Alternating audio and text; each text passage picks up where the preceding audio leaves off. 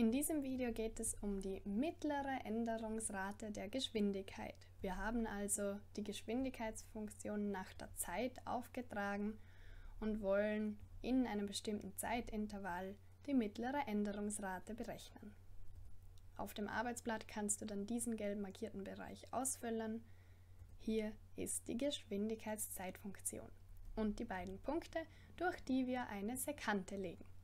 Erinnere, erinnere dich an die mittlere Änderungsrate des Weges. Das funktioniert genau gleich wie jetzt bei der mittleren Änderungsrate der Geschwindigkeit, nur haben wir hier die Geschwindigkeit aufgetragen.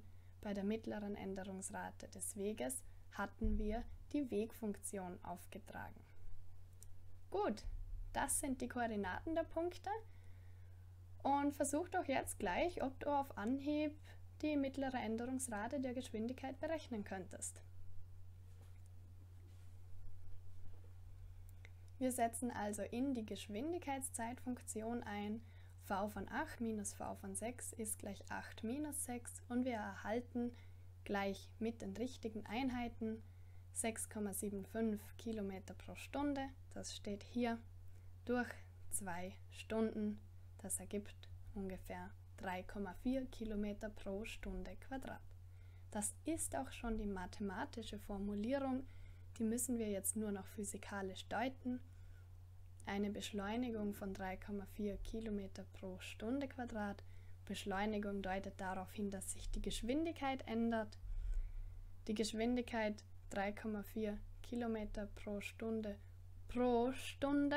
Vielleicht erinnert ihr euch noch an die Umwandlung bei der Einheit bedeutet eben, dass sich die Geschwindigkeit pro Stunde um 3,4 km/h ändert.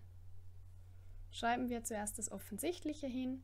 In diesem Zeitintervall 6 bis 8 Stunden ist die mittlere Beschleunigung 3,4 km pro Stunde Quadrat und nun die etwas genauere Deutung.